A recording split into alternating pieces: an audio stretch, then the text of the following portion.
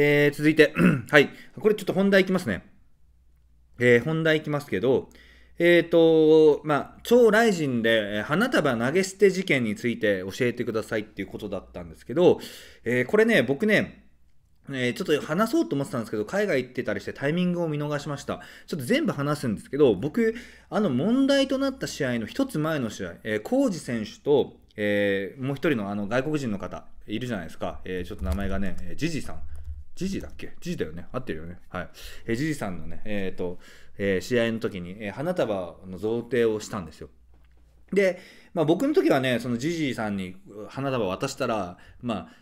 これはね、花束渡す人は脇役だと僕思ってるんで、別に何にも思ってないんですけど、もういらないみたいな。セコンドに渡せみたいなこと言われたので、セコンドに渡しましたと。で、その後、浩二さんに渡して、ありがとうございますって、あの試合の前に言ってくれて、今でも覚えてるんだけど、花束渡した瞬間に笑顔でありがとうございますって言ってくれて、いや、試合前なんでね、ピリピリしてるのになんか、こんなね、花束贈呈の人に、相手になんかこう、声かけてくれて優しい人だなと思ったら、俺、勝ってさ、めちゃくちゃ嬉しかったんだよね、まず。まず。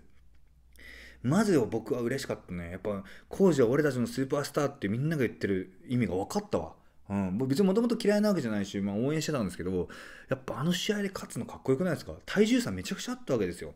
体重差めちゃくちゃあって、格闘技って体重差ってめちゃくちゃハンデなんですよね。うん、だから正直僕負けんじゃねえかなと思ってたんですけど、勝ち切ってすごかったし、会場めっちゃ盛り上がってましたね、あの時。はい。本当に。で、えー、と帰る時も、えー、僕ちょうど衣装着替えてたんであの次のロープロープ上げるやつがもうこれから説明するんですけど、えー、浩二さんに会って「いやありがとうございます頑張りました」みたいなこと言ってくれて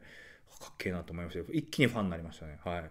ら俺たちはやっぱ浩二はあれですよ。俺たちのスーパースターですよ。俺本当に結構ファンになったんだよね。かっこよかったわ。はい。浩二さん王子に感謝してたよ。本当ですか？えそれも嬉しいな。俺別になんか感謝されるようなことはしてないんだけどね。うん感謝されるようなことはしてないんだけどうん。まあでも、時事ボクシングデビュー戦だって言うけど、やっぱ体重差あれでかいと思いますよ、かなり。いやでもまあ本当、浩二さんおめでとうございます。本当に嬉しかった。俺、花束贈呈した試合であんな感動する試合見せられてよかったなと思いました。はい。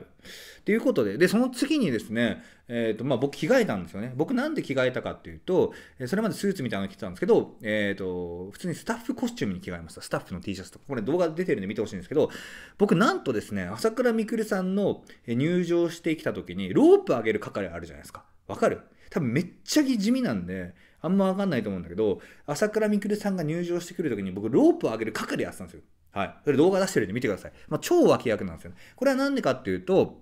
まあ、坂木原さんとも対談して、まあ、雷神の良さもっと出していきたいよねって、僕も格闘技一ファンとして、えー、ちょっと協力させてほしいですってことで、えー、雷神の裏方って、やっぱどういう風な仕事をしてるのか。ああいう大きなイベントやるときって、もう朝からすげえスタッフの人たちが頑張って、寝ないで頑張ってる人もいるらしいんですけど、リング作ったりとか、準備したりとか、パンフレットやったりとか、めちゃくちゃ大変なんですよ。ああいう裏方の人がいっぱいいて、その上でイベントが成り成り立ってるんで、俺は経営者としてそういうこと伝えたいなと思って、ちょっとやらせてもらいました。はい、まあ、あの、すげえ地味で多分みんな気づいてないんですけど、あこういう仕事も大事なんだな、こういう仕事があるから、ああいうイベント見れるんだなと思っていい経験になったんですけど、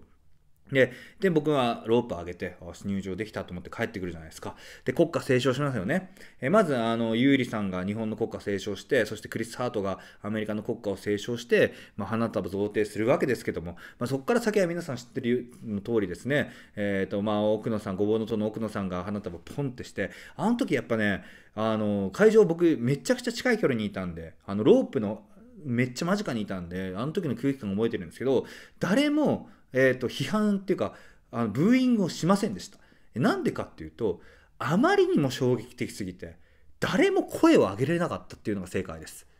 うん。ブーイングする人もいないぐらい、マジでみんな唖然としてたんですよ。え、なんでそこであれやんのみたいな感じだったんですよね。まあ、ここの話は多分いろんな人が話してるんで、もうみんな知ってることだと思うんで、まあ、あえて話さないんですけど、で、その後に、えっ、ー、と、まあ、この間、ヒカルさんのチャンネルに奥野さんが出て、えー、とりあえずその事情説明はせずに謝罪だけするっていう、なんか、ちょっと不思議な動画を出したんですよね。で、で昨日、おとといに、ごぼうの塔の奥野さんが、えー、自分のチャンネルで、え、どうしてああいうことをやったかっていうのを、え、説明する動画を、え、出してました。で、一番かわいそうだなと思ったのは、えー、昨日かな、記者会見かなんかで、榊原さんがね、ライジの c e の榊原さんが土下座してたんですよ。うん、俺それ見てほんとツイートしたんだけど胸が痛くなってで、まあ、奥野さんって僕も面識があって奥野さん自体はまああのー、まあ僕も知ってる人なんでねあんま悪く言えないなっていうところもあるしいいとこは本当あるんですよ。こういうことがあって世の中にめちゃくちゃ悪いやつだみたいな日本の恥だって多分すげえ広まっちゃったと思うんですけどそのそういう悪い側面俺もね僕もあれはさすがにないと思うし奥野さんには申し訳ないけど、まあ、年上で本当も年上の方に申し訳ないんだけど年下の生意気なやつかもしれないけどやっぱあれはないよさすがに。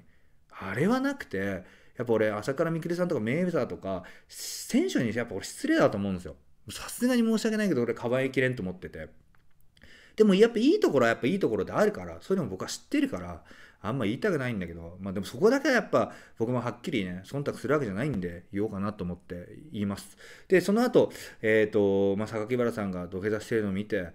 あのー、すげえ胸が痛くなりましたね。えー、視聴者の方知ってると思うけど、僕、榊原さんとは何回か対談させてもらってて、え今回のそのメイウェザー戦も一番先にインタビューを取ったんですよ。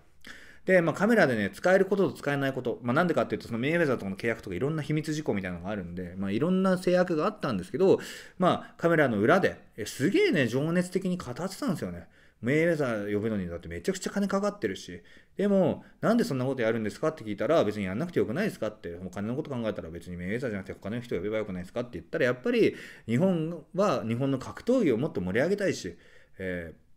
ー、日本という島国で、えー、格闘技を一番にしたいんだみたいなことすげえ語ってて、あ、この人本当格闘技のこと考えてんだなと思って僕感心した思いがあるんですよね。で、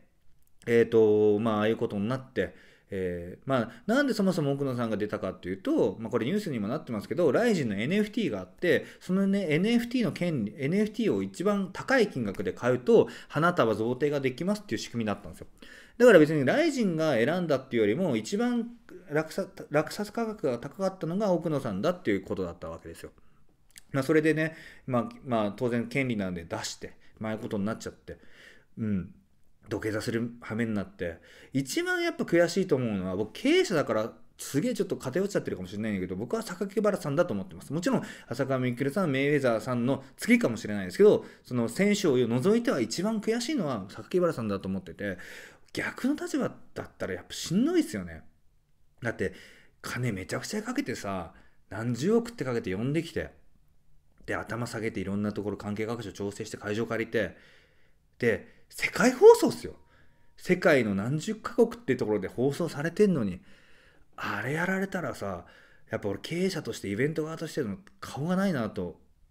やっぱ思っちゃいましたね。でそれを全部でさ背負い込んで土下座してる姿を見たら俺なんか侍に見えましたね正直。うん。すげえ褒めすぎかもしれないけど本当になんかジャパニーズ侍に見えました。うん。まあそれは多分僕も苦労を裏で聞いてるから知ってるからより感情が入っちゃってるのかもしれないですね。うん。でまあ皆さんになんだろうなそれやっぱ経営者としての気持ち俺すげえ痛いほど分かっちゃう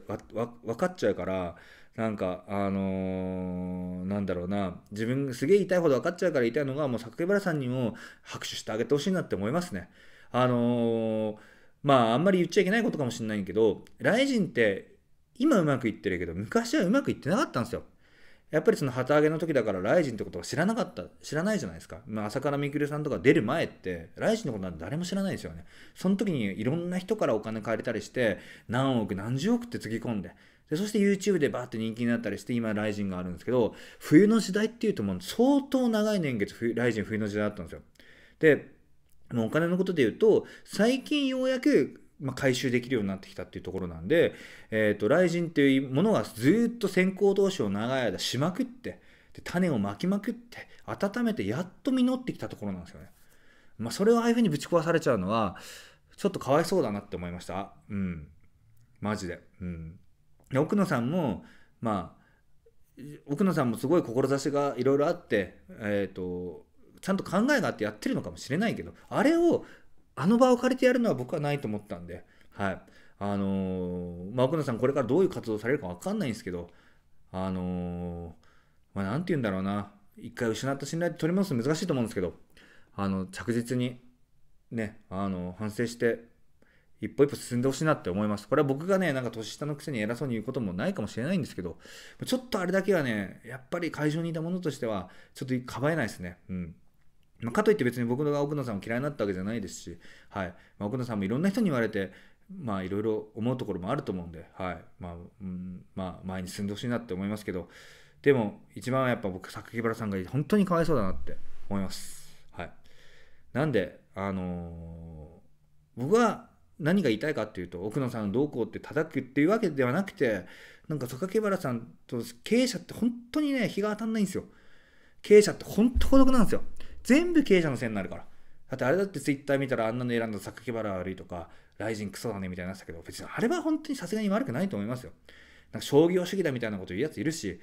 お金を優先してるからダメだみたいなこと言うけど当たり前じゃんバカなんじゃねえのと思いますけどね。だって興行ですよ。お客さんからお金をもらってそして選手を、えーと、あ選手にフィーを払って試合を組んでマッチメイクしてイベントができてるわけだから。商業主義も何も商業なんですよ。それをなんか商業主義だからダメだみたいな日本人みたいなクソみたいな風潮を出すのは僕は気持ち悪いと思うんでだって成り立たないと選手にお金払えないじゃないですかうんだからああいうなんかああいうふうに全く関係ないところが叩かれるのめっちゃかわいそうだなと思うんでうん、僕が同じ立場だったら相当しんどいと思うんで、ちょっと皆さんには、なんかそれを言いたいなと思いました。はい。商業だからね。え、商業って何が悪いん？え、金儲けて何が悪いのって。金を儲けて選手にたくさんフィー払って格闘技界を盛り上げて、そしてみんな楽しみませるわけなんだから。別に国から援助金出てるわけじゃないんだからさ。当たり前じゃん。なんかよくさ、そうイベントとかやるとさ、そうやってなんか性善説じゃないけどさ、なんかお金をもらったらダメだとかさ、わけわかんないこと言うやついるけど、そういうのも多分本当にやめた方がいいと思うよ、本当に。は、喋んのってレベルですよ。うん。常に何かをやる人を動かすには金がいるんだよ、金が。みんな無料でやってくれるわけねえんだから。それをなんか金をもらうから悪だみたいなこと言ってるから、なんと日本ってしょうもねえなって思うんだよね。うん。まあまあ、そういうことです。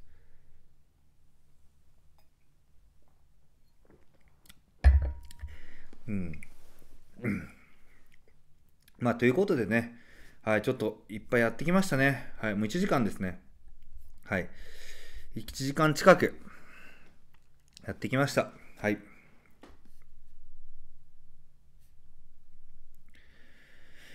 えー、ごぼうの塔の理由、えー、40分からの理由背景動画見ましたか？見ましたよ、ちゃんと。はい、見たけど、もうそれに関してはもう言うことないなって思いましたけど、うん。まあいろんな意見あると思うし、奥野さん奥野さんで考えがあってやったのよ。それがダメだっていう風になってるだけのことなんで、その考えを否定するわけつもりはないですよ。あれはダメだと思う。まあはっきりダメなものはダメって言うけど、はい。まあでもね、あのー、やっぱライジンのせいにするのは違うんじゃないかなと思いましたけどね。そこだけは。はい。そこだけ言わせてほしいなと思いました。はい。